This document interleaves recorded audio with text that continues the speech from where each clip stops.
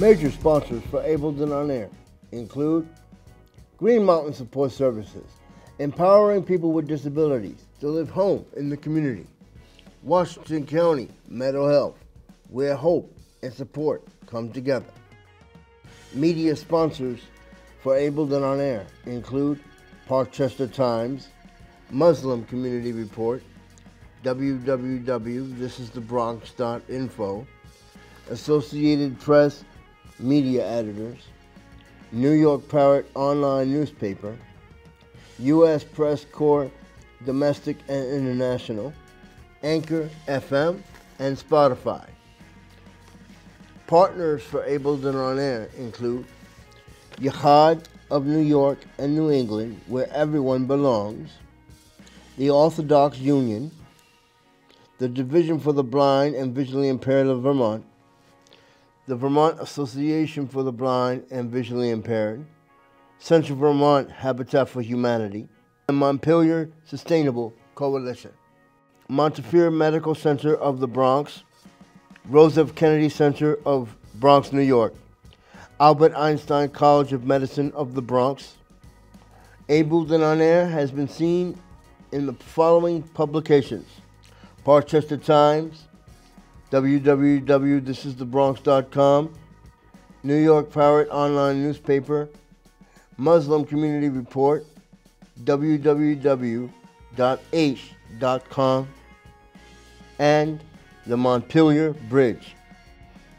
Abled and On Air is part of the following organizations the National Academy of Television Arts and Sciences, Boston, New England chapter, and the Society of Professional Journalists. Hello and welcome to this edition of Abled and On Air, the one and only program that focuses on the needs, concerns, and achievements of the differently able. I've always been your host, Lawrence Seiler. Um, Arlene is not here today, but on this edition, we will focus on social work and uh, social work in Israel and many other things around social work. But before we do that, we would like to thank our sponsors Washington County Mental Health, Green Mountain Support Services, and many others, including the Association for the Blind and Visually Impaired and the Division for the Blind and Visually Impaired, and many other sponsors and partners. We would like to welcome our guest, David Wecker, uh, social worker from Israel. Welcome back uh, to Abled and On Air because you were on before. Thanks um, for having me. Yeah. Okay. Um, for those that don't know, uh, since you are a social worker in Israel, uh, what is the difference between, in your opinion, um, or there are differences obviously, what's the difference of being a social worker in Israel and the United States? Are there any differences within? Uh, yeah practicum, you know, helping people, being a social worker? Yeah, I, I didn't know so much about the system here in the United States, but what I can say about Israel and where I see the difference is like in Israel, the, it's a it's a welfare society. Like they're taking care of all the citizens from when they start. They have a, a free health insurance to all the citizens, and and then you grow up in a welfare society. Of course, the education is is uh, free. And well, what is meant by a welfare society in like this case? You have a lot of rights from the time that you your your birth, then the, the the end of your life when you became old and you need some help. The the state take care on all, all the things that you need, mm -hmm. most of the things, let's say. There is still a free market there too, but you know it's a little bit different. Mm-hmm. Then, uh, go ahead. Then, from my perspective, that the most different is there, you know, because a social worker in Israel, a lot of time, their work is focused on how people can get their benefits, how to help them to get the right treatment, how to how they can get better, how how to help kids that in, in risk to live in the school or in risk because of their families, we try to help them in all that field. And do you teach people? Um, well, okay, you're in uh, foster care Yeah. as a social worker. Can you explain about that and how how that's different um, uh, um, in Israel? Go ahead. Yeah, sure. Then Uh, I think that the, the foster care system in Israel is really wide. Like they just pass a law that say that even most of the kids that come into foster care facilities and families, they come from they come to relatives. And the government and the country decide that she want to support that. She help them with money with treatment. Every kid that Oh, so they give you a they give um, kid they give the parent a voucher. yeah to they, help? they, like they give them direct deposit of money every month and get they get they guided by a social worker that you know because a lot of time the parents from my perspective and what i see in the field a lot of the time parents didn't understand the need of the kid to get treatment like you know physic uh, uh, like a therapy from psycholog or or uh, sometimes medicines, you know, because what they pass through, you know, post trauma, you know, all that kind of things, fe- uh, anxiety, depression. Then we help the parents to to get the kids to the right place, to the place that he can grow, that he can become better. Mm-hmm.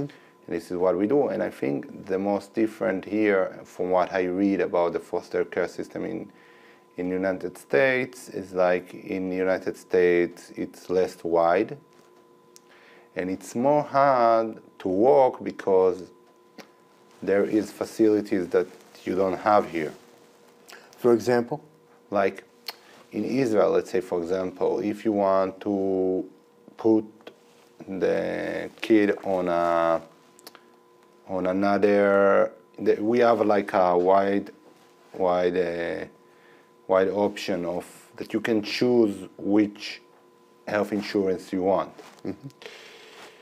Then we can like when we want to move someone, some kid to another, if the family, the foster family want the kid to move to another facilities, we can just uh, we can just call we call it the nation, national national uh, insurance. And to tell them move that kid. We mm-hmm. don't need anybody permission for that. Mm-hmm. And it's make the work a lot more easier for us. Or even if we want to work with a school system or to get a lot of stuff it's more easier. Mm-hmm. Walk me through a typical day yeah. or week. Or let's start with a day. What is a typical day like for you working in the system you, work in? Yeah, then then the COVID changed a lot in our field because they start to understand that you don't have to work from from offices, especially in our work because we don't like most of the time we are case managing and we try to get the kid the right treatment, the right family, the right direction. And because that we work mostly at, at home. We hmm. start we work we write documents we write reports. And we try to we we we talking with a social worker that take care on the family on the biologic family. Mm-hmm. And we try to convince them to you know we try to make everything to work for everybody that everybody will know what's going on and and that we can decide together what what will be the next step. And once a month, we come in to visit the kids and his family. And of course, every Sunday we meet everybody in the office because, and then we get like, they get guidance too. Uh, as a professional, we need to, you know, you know, you every time we believe that we every time you every time need to learn. Of course, when you work with people, people it's really a dynamic thing. Then you all the time need to learn how, how to become better, how to be more professional. What is what is the last research about that field?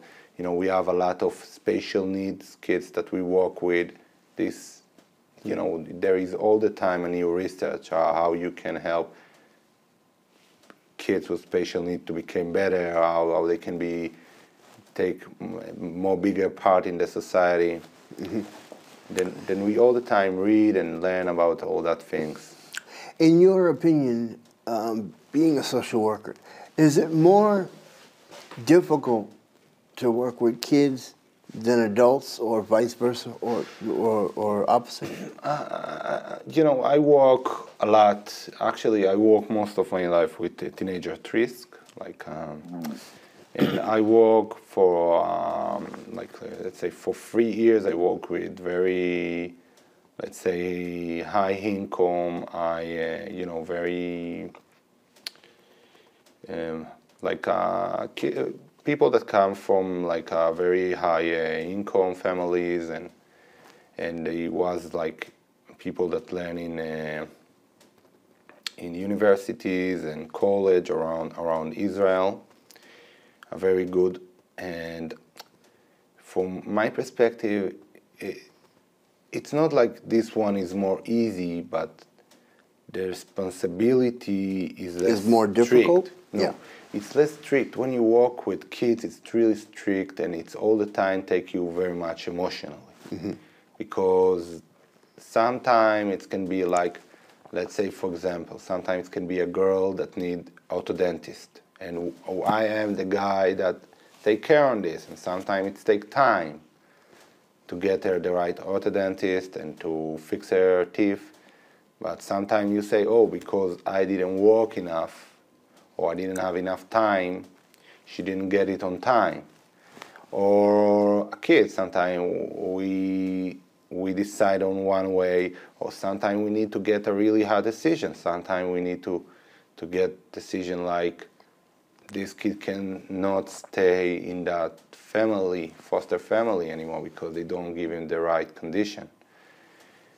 Then it's a, it's it's really you know it's a really, from my perspective, it's this is the difference in when you work with people without you know everybody have issues in life, even like people without you know with a very tough background and very very good background and they have a very let's say perfect life even they have some issue. But when you come to kids that come for foster family the issues they are very big then your responsibility is very big then you emotionally it can be very hard to decide sometimes So was it talking about emotionally hard? Was it more harder, or see if I can phrase this? Uh, was it more harder through COVID to get services for people than Yeah. now? yeah sure because especially for the special com- Needs. ki- needs kids yeah for them through covid sometimes you know in the very tough time when in the start some of the school even was closed and then we start to see families that you know they start to collapse you know like they start to be broke Yeah, because it's really it, sometimes. Uh, well, in my opinion, uh, um, I think it's more difficult, especially with special education. Kids sometimes can't do internet learning. They need that one-on-one yeah type of uh, learning or classroom learning. It's very hard to do internet um, Yeah. school Yeah, sometimes for yeah. people. And this is from you're really right about the kid side, and the other side is the parent side. You know, the parents it's really hard for them to that they all their, you know, the the, the facilities that help them to grow the kids and give them a little bit air to breathe. You know that they can, you know, focus on their work, do whatever they want because a lot of time kids with special need need a extra care mm-hmm. and all of this gone for a very long time through through covid. And then this make a lot of challenges for us as how we support this family how we make them how it's make it work even the facilities is and it it, it was really hard, and it, we still we still see like um, things that going on because of of uh, of COVID, because not because of the disease, because of the People, do you people think people being are? home all, day. do you think they're too well? You, well, you. I mean, you're in the social work field. Do you think a lot of people have more anxiety from like being home and not outside and that kind of thing? Or? I, I can answer. I can't answer about that. Of course, it, it's more when when when when was the um, the COVID. Uh, people without the support of the community, it's it's it's they less immune to anxiety and depression and all these things. But what we can see, this is I can tell you that there are more kids that need right now a foster families. There is more families that don't survive the COVID period. And you know, we still through it, but hopefully it will end. But we still see the impact of the quarantine and you know all the time that people did kids didn't have their schools and their friends and the, the it's really hard even for the system to, to carry all this You, okay, so since you've been a social worker, uh, how um, talk about the severity of, of the severe part. of, um, is it hard for parents to give um, to give up their child and then put them into a foster care system? Why or why not? yeah then Can you, you understand yeah. my point? Yeah, yeah, I, I totally understand. Then most of the time in Israel, we're really careful with that thing. You know, we, we really believe that kid need to grow in his biologic family. But there is a limit to that. You know, there is a limit if parents like, you know, behave in a way that they don't give the kids his, his basic needs. Let's say Basic needs food, mean what? Food, food, clothes. uh, clothes, even emotions. Sometimes you know if they torture him emotionally, um, then or let's say uh, they abusing him or uh, you know in mean of or sex or uh, or physical then then we have like uh, sometimes the social worker facilities of the area of that kid need to take action and need to take this kid out. But most of the time, this is not the case. This is like maybe I don't know, maybe between five to ten percent of the kid. Other time is like if the parents have, uh, let's say, a very severe thing and they can't grow the kid. We even have sometimes like if if a parent uh, have a, let's say cancer, for example, and she can grow her kids even for a temporary time. A foster kid is a temporary solution. We believe, we hope How, how is it a temporary solution?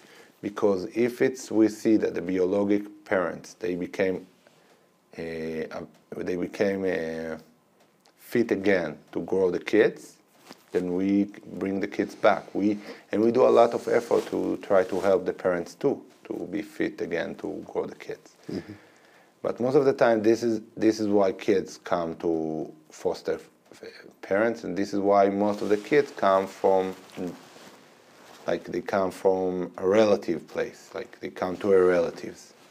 And this make this make too a lot of yeah like difficult because a lot of time if kids come from a place that his his parents didn't was good to him and then he go to his relative then a lot of time it stay the same like they, they believe that their way is the best Do, talking about uh, foster care. Now, if a child or children, group of, uh, you know, brother, sister, um, come from a, a violent uh, uh, uh, home, okay, violent, domestic violence, any kind of violence, um, if there's say two or more children, do you find, do, can you find, or is it hard to find um,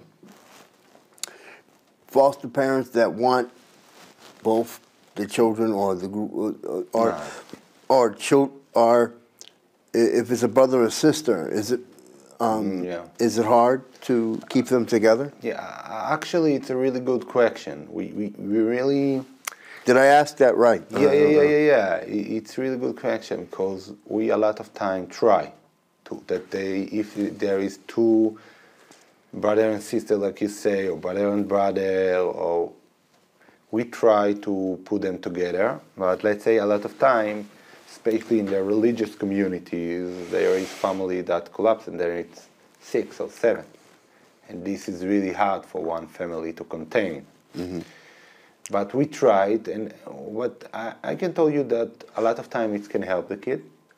What being separate? Be, no, being together.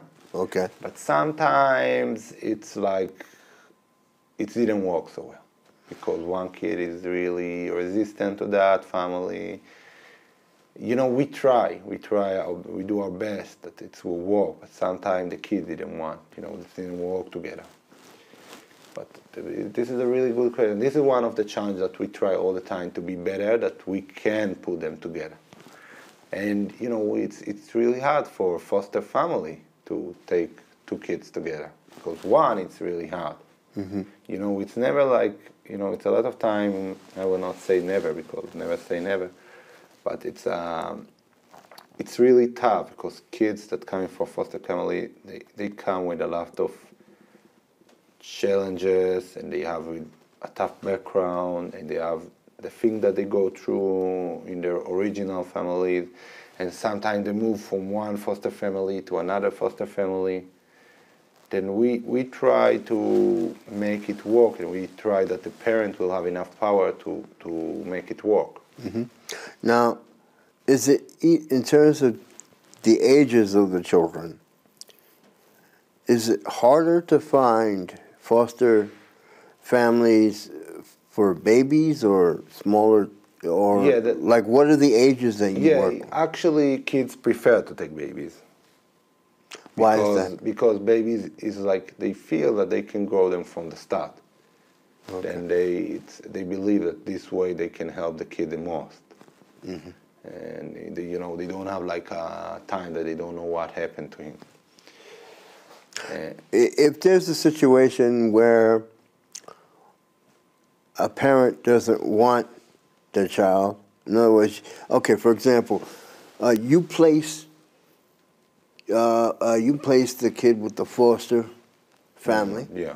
and then do you do like a trial period first, or you know a trial period? Yeah, yeah. Then, then part of the family we do it. We do it one year.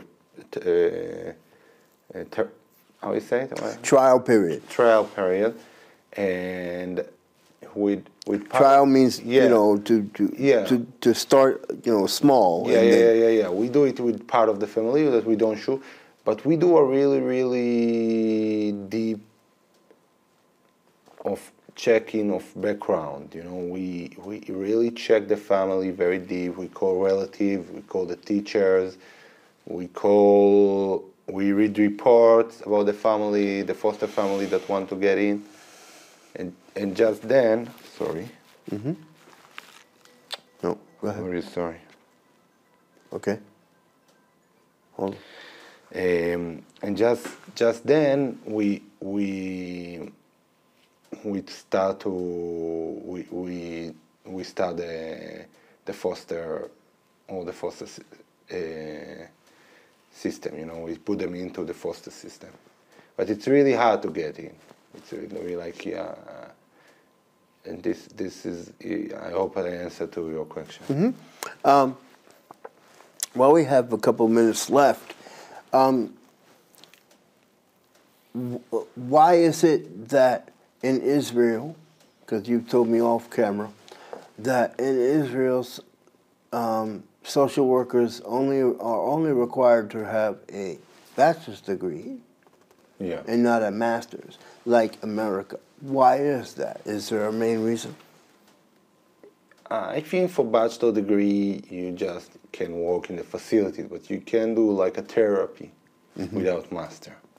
You have master of clinic. If you want to actually treat people in the clinic, mm-hmm. then you need a master. But I, I think, I think because it's like we work with people, and they give us. Uh, well, obviously, you go through a lot of training. Yeah, we have a lot of training, and we work, and we all the time learn more.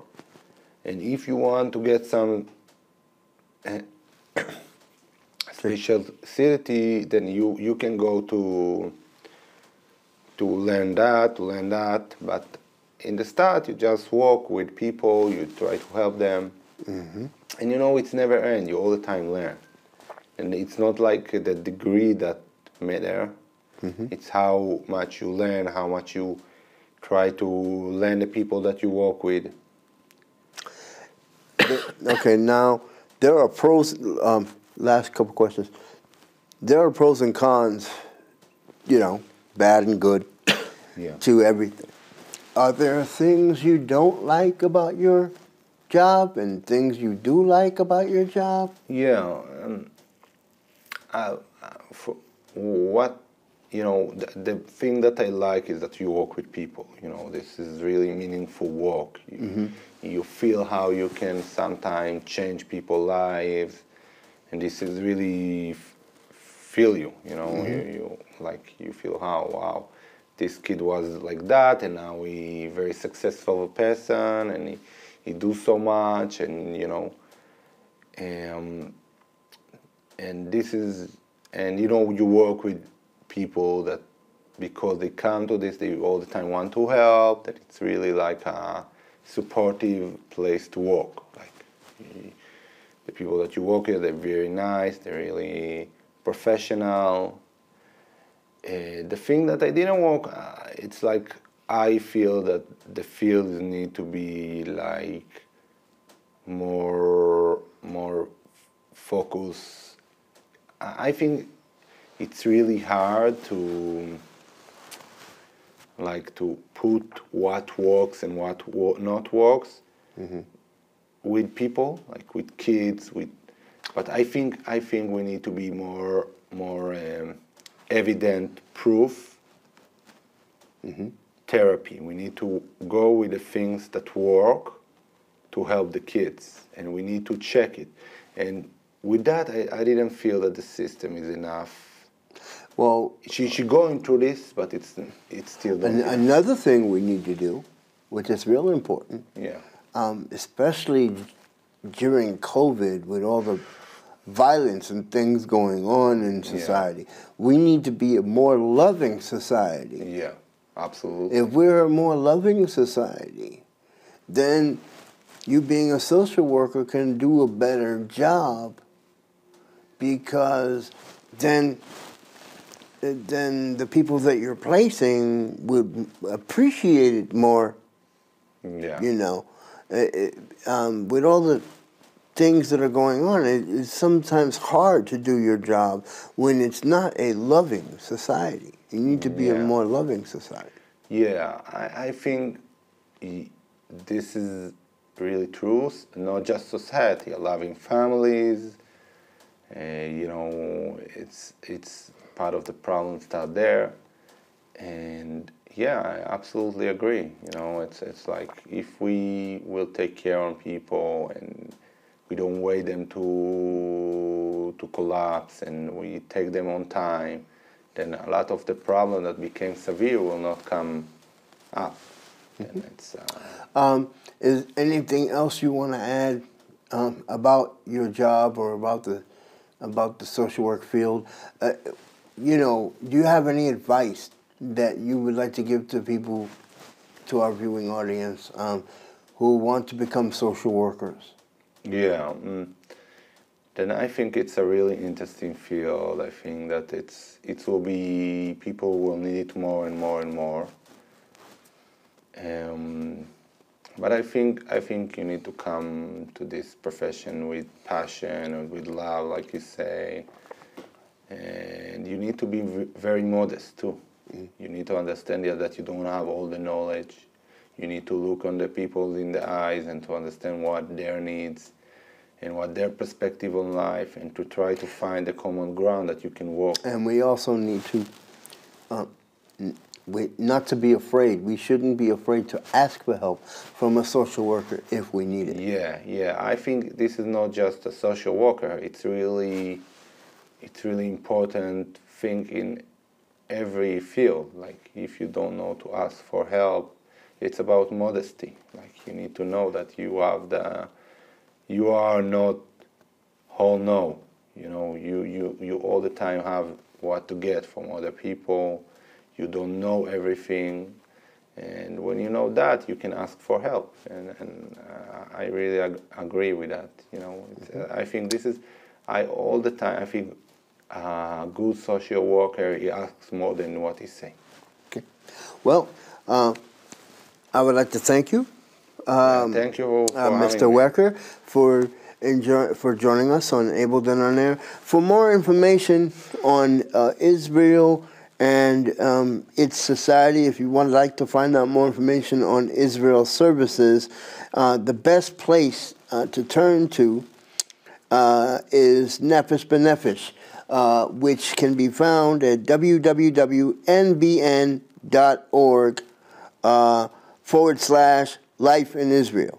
Again, for more information on social work or any programs that Israel has uh, to find out more information about, you can go to www.nefeshbenefesh.org forward slash uh, IL Life in Israel.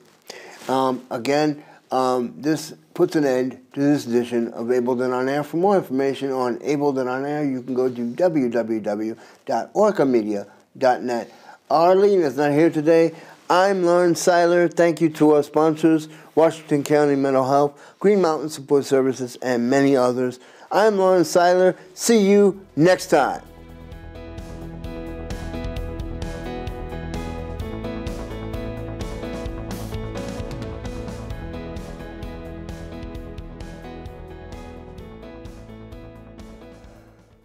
Major sponsors for Abled and on Air include Green Mountain Support Services, empowering people with disabilities to live home in the community. Washington County Mental Health, where hope and support come together.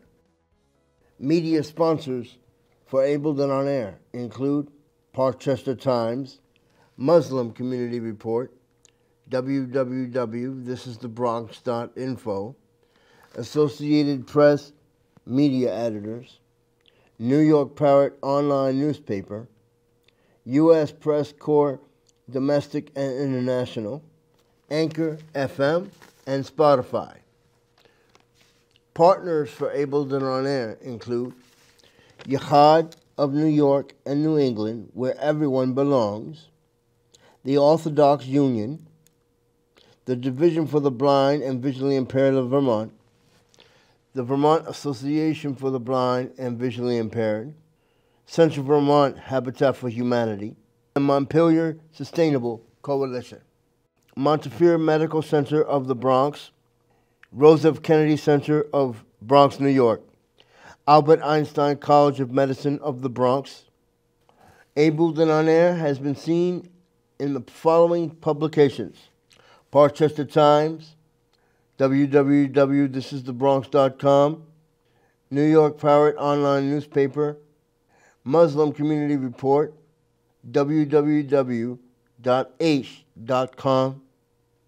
and the Montpelier Bridge. Abled and on Air is part of the following organizations the National Academy of Television Arts and Sciences, Boston, New England chapter and the Society of Professional Journalists.